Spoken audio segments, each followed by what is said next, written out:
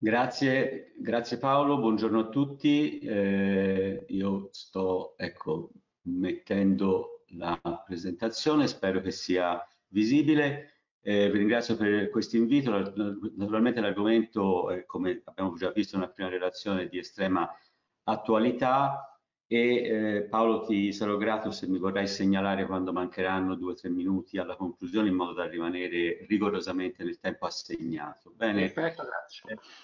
Il long covid eh, è una, questa, se ne parla moltissimo ormai da qualche mese. Noi vediamo che l'Organizzazione Mondiale della Sanità, eh, eravamo a gennaio di quest'anno, aveva iniziato proprio a definire questa, questa diciamo, nuova entità come una condizione emergente delle conseguenze di Covid-19 dove eh, post-Covid syndrome o long Covid venivano utilizzati come eh, termini anche intercambiabili, direi, ma con ancora necessità di una migliore definizione sia da un punto di vista terminologico che clinico. Eh, nello stesso tempo eh, le, eh, il gruppo delle NICE eh, britanniche all'interno di una eh, guideline che è comparsa più o meno eh, in tempo corrispondente aveva eh, dato questa prima differenziazione di definizione parlando di long covid come quella eh, descrizione di segni e sintomi che eh, seguono la fase acuta della malattia eh, nella fase di sintomaticità nelle prime 12 settimane oppure come vera e propria sindrome post-covid da 12 settimane in poi e dandoci come in quel momento la, eh, diciamo, l'identificazione della sindrome post-Covid come quell'insieme di sintomi che sono eh, conseguenti all'infezione che si protraggono per 12 settimane ma che non sono spiegati in maniera specifica secondo quelle che possano essere l'identificazione della patogenesi e dei meccanismi di sviluppo di, eh, di, questa entità, appunto di questa sindrome che deve essere definita. Bene, eh, questo eh, apparentemente eh, quasi inestricabile eh, descrizione, ma ci rappresenta con una figura molto efficace che non andiamo naturalmente ad analizzare in maniera eh, descrittiva e analitica, ma questi gli effetti a lungo termine di Covid-19. Se ne parla tanto, quindi ai colleghi presenti non, non, non, sto a dettagliare alcuni argomenti che poi affronterò, ma quello che certamente la figura in maniera molto, così, molto descrittiva ed efficace ci riporta è come le conseguenze da un punto di vista sia dei sintomi sia anche di conseguenze eh, di tipo biologico sono veramente distribuite in ogni dove e questo ci spiega la complessità anche dell'interpretazione sia da un punto di vista, dicevo, clinico, ma anche da un punto di vista della fisiopatologia di quello che sostiene gli esiti di questa malattia. Naturalmente ci sono state già negli anni, nei, nei mesi scorsi vari tentativi di, di mettere in relazione almeno la, eh, la, persistenza dei sintomi con le caratteristiche della malattia nella fase acuta. Eh, il gruppo della, della mh, eh, malattie infettive di Careggi insieme al, agli altri che si sono occupati e si stanno occupando del, del, di Covid-19 in una mh, analisi preliminare avevano già osservato che la persistenza dei sintomi non ha una relazione documentata, almeno in quei pazienti che erano stati valutati in quel momento con la severità di presentazione della fase acuta, con il ricovero in terapia intensiva o la durata dell'ospedalizzazione e questo la dice lunga già nel, nel eh, renderci in qualche modo difficile almeno immediatamente la comprensione della relazione. Non solo, ma come vediamo anche in altri lavori che sono stati condotti eh, seppur in maniera sempre pilota perché casistiche non estremamente vaste ma analizzate correttamente anche che la persistenza dei sintomi a distanza tra l'altro non, non, è nemmeno in relazione al setting dove il paziente ha condotto eh, la fase acuta della malattia, cioè tra pazienti ospedalizzati e pazienti curati a domicilio non c'è differenza in coloro che hanno o non hanno la persistenza dei sintomi a distanza. E altre osservazioni, anche queste non definitive perché avranno bisogno di conferme su casistiche più importanti, ma dicono che anche in questo caso la ehm, presenza dei sintomi, come vedete, non è in relazione, non è associata alla gravità della malattia della fase acuta in particolare neppure con le alterazioni radiologiche polmonari, essendo in questo caso, in questo studio, prese come ehm, come eh, elemento di comparazione. E l'ultimo che è stato pubblicato proprio pochi giorni fa, il primo lavoro che arriva a una estensione di follow up molto lungo, dice che eh, in generale i pazienti recuperano, coloro che hanno uh, delle, eh, dei sintomi, soprattutto i sintomi respiratori, che sono una quota parte non eh, estremamente rilevante ma presente, quindi soprattutto col sintomo di splea, effettivamente hanno la documentazione di esiti polmonari radiologici, ma l'unica cosa che possono concludere gli autori è una raccomandazione a definire quelli che dovranno essere i follow-up successivi di questi pazienti e questo eh, lavoro pubblicato su una rivista di grandissimo prestigio come l'Ancet è riferito soltanto a 83 casi. Bene, io eh, recupero, e mi mm, ha fatto piacere l'anticipazione la, è stata data in una slide precedente perché da questa rassegna che è comparsa adesso ho pensato proprio per favorire anche una riflessione eh, e un approfondimento per i colleghi di riportare alcuni elementi della correlazione clinica fisiopatologica che oggi sono in corso di studio e sono noti proprio per quello che riguarda la sindrome da Covid nella fase post-acuta, prendendo proprio in esame eh, questa correlazione con la, i, la numerosa eh, sequenza di sintomi che abbiamo già visto prima e che si protrae ovviamente per mesi, fino ai sei mesi e forse anche, e forse anche oltre. E ho fatto ho cercato un, un, tentativo di mettere insieme e di isolare alcuni punti che credo possano essere utili, cioè da un punto di vista delle sequele, delle sequele mi raccomando, qui non stiamo parlando della fase acuta della malattia, ma passiamo a lungo termine, da un punto di vista epidemiologico e clinico eh, ci sono la, i deficit di diffusione e le fibrosi sono più importanti nei pazienti che sono stati trattati con ossigeno ad alti flussi o con NIV,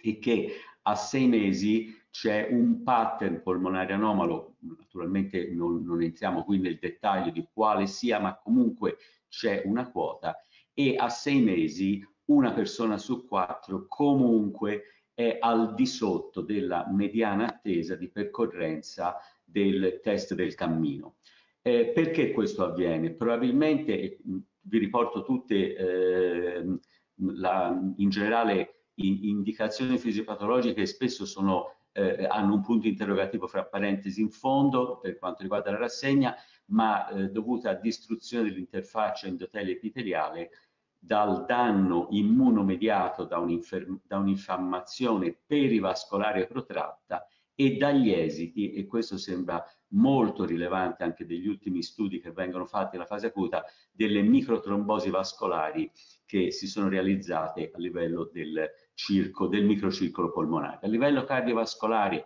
a distanza di tempo, ci sono un 10% di soggetti che hanno ancora dolore toracico e cardiopalmo,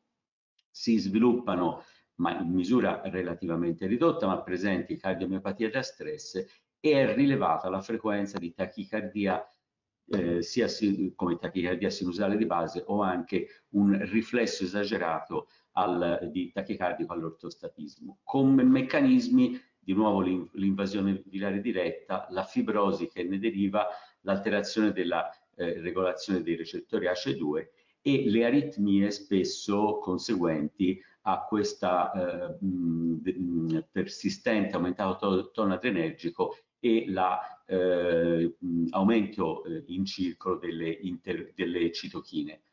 Eh, le altre prevalenti sono ematologiche, eh, a distanza di tempo sempre c'è un 5% circa di eh, episodi tromboembolici venosi e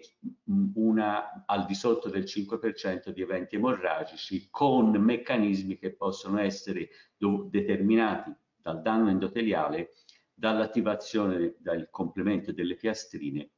e dalla circolazione delle citochine proinfiammatorie. Eh, molto eh, direi composito è quello delle alterazioni neurologiche e psichiatriche, perché da un punto di vista epidemiologico e clinico abbiamo molti dei sintomi che si conoscono, la cefalea, la difficoltà di concentrazione, quella che viene detta non la nebbia, eh, i deficit di memoria, di comprensione, la depressione, l'ansia, ma eh, da un punto di vista fisiopatologico molti studi che stanno mh, cercando di approfondire sia per le cause alcune documentate e ovviamente in alcuni casi come le trombosi microvascolari o neurodegenerazioni aspecifiche, ma scusate, eh, quelli che sono proposti come l'interazione tra il virus e la barriera ematoencefalica e a livello, ad esempio, in relazione ad alcuni sintomi, l'invasione virale degli eh, spazi extracellulari dell'epitelio olfattivo. Non vado a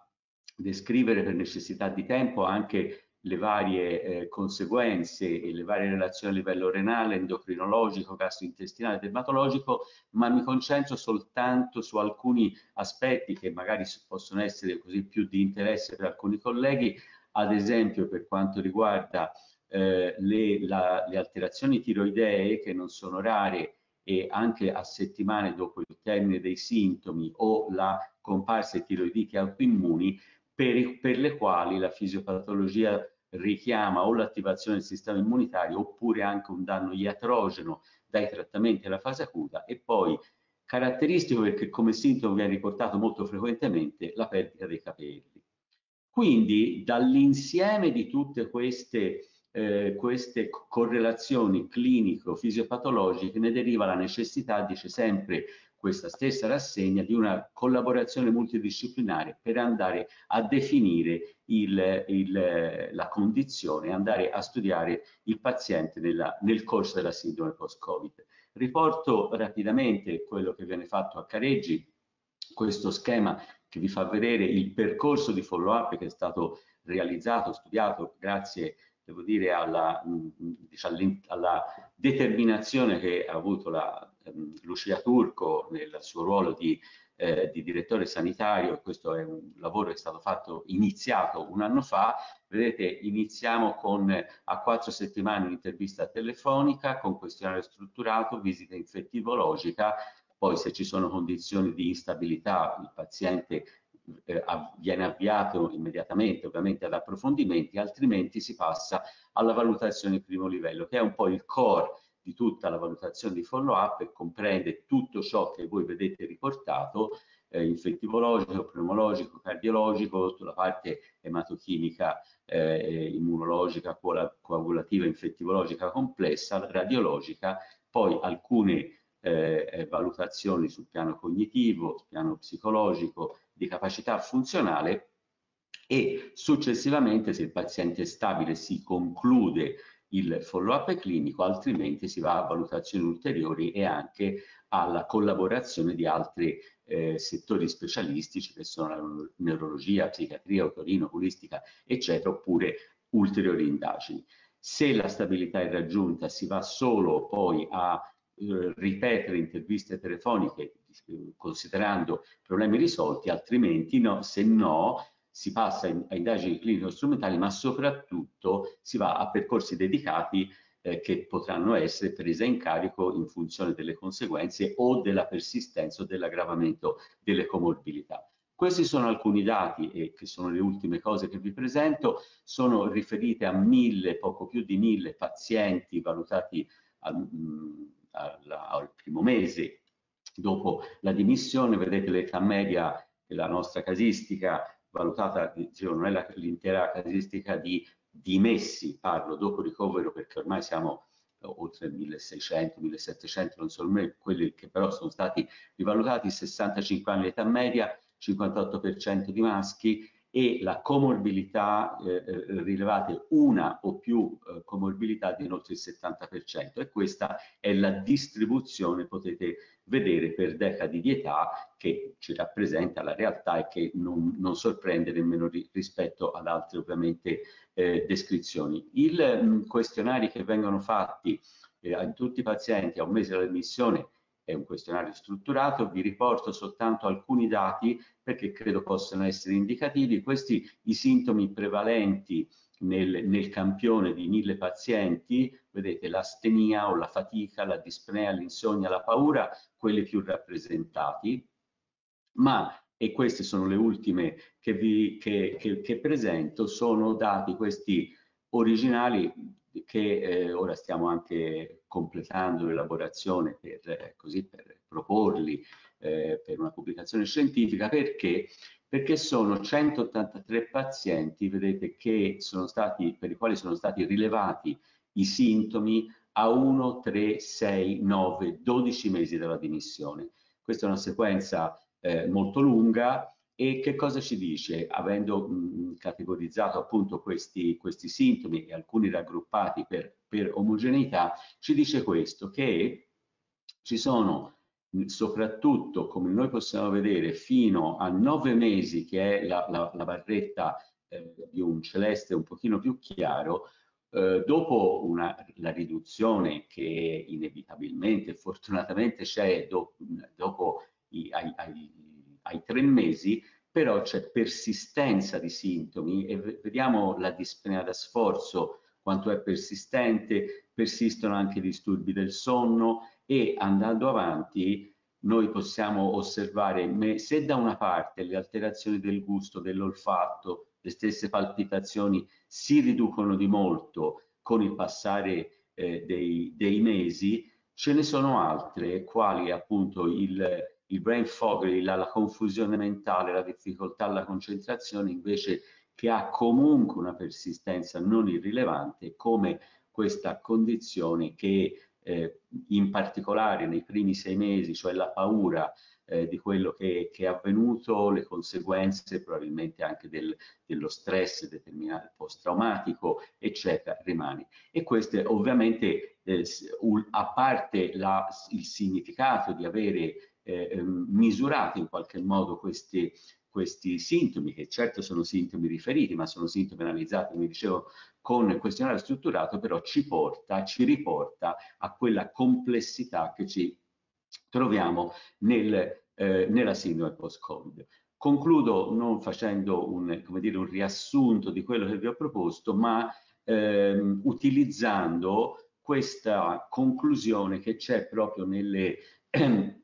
in questa eh, eh, linea guida che è stata pubblicata da NICE perché eh, il, il, panel proprio dice eh, ci sono una serie di interrogativi aperti. E mi sembra che questo riassunto ci possa anche molto richiamare quanto veniva detto con i propositi anche del, del, del lavoro del, dell'Arse e quindi di tutto il territorio, di tutti i professionisti eh, della, delle varie strutture sanitarie della Toscana perché per quanto riguarda la sindrome post-Covid dovremo analizzare qual è la storia naturale e quali sono prevalenza e incidenza, vista la difficoltà anche per inquadrare già la sindrome e quali sono i fattori che influenzano il rischio di svilupparla. Questo certamente ancora, come ho cercato anche di accennarvi seppur brevemente, è un tema eh, di, di, grosso dibattito e che sta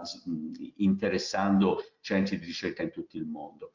E qual è il sintomo che rende necessario un intervento specialistico? Perché non tutti questi sintomi poi sono correlati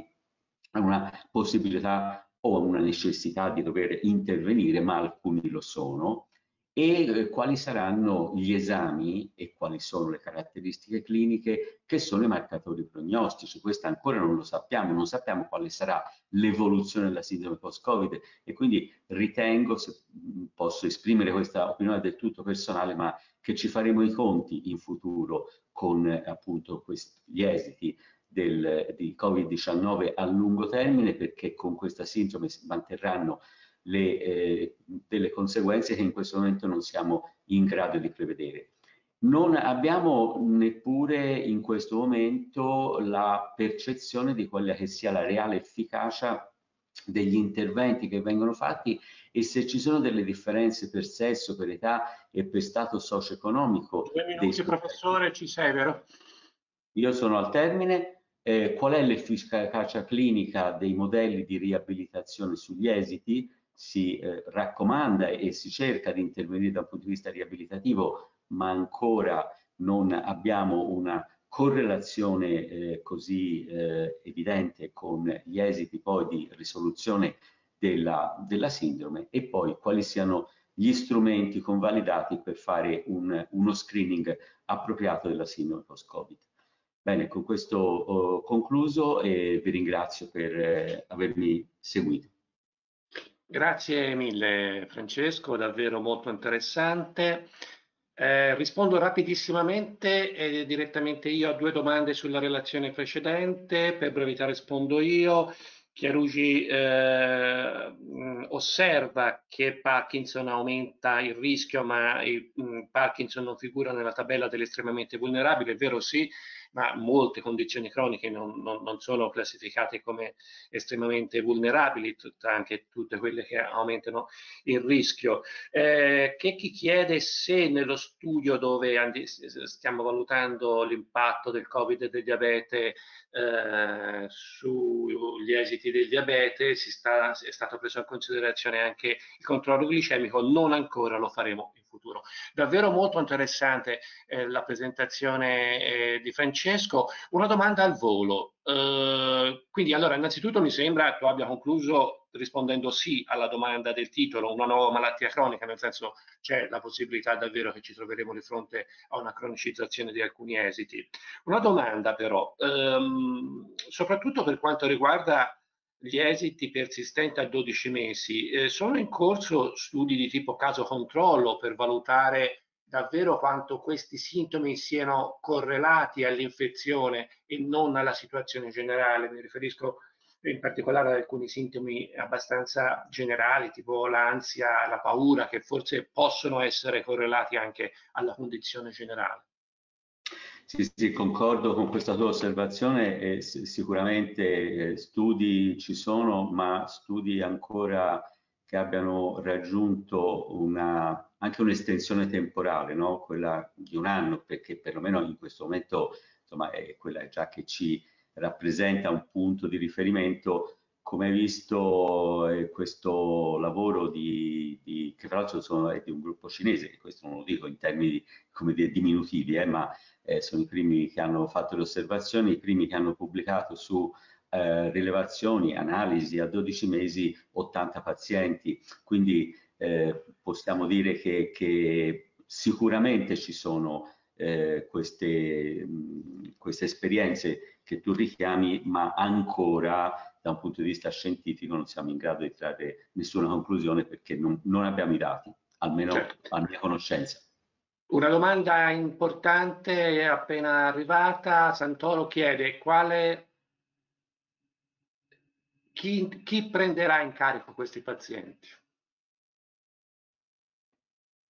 Parliamo, parliamo quindi del, della ipotetica, speriamo di no, ma sindrome post-Covid. Sì. Be bella domanda, bella domanda. Eh, questo io chiaramente non sono io che posso dare questa risposta, quindi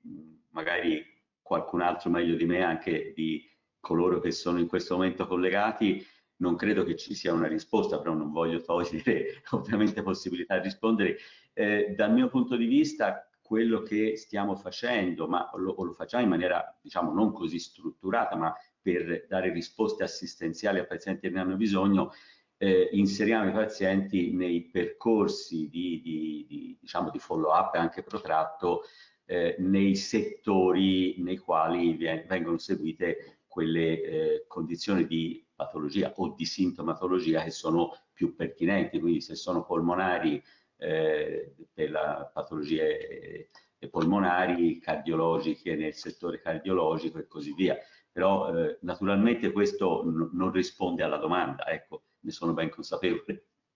Vabbè, cercheremo di rispondere con un po' più di tempo. Grazie mille, grazie mille Francesco.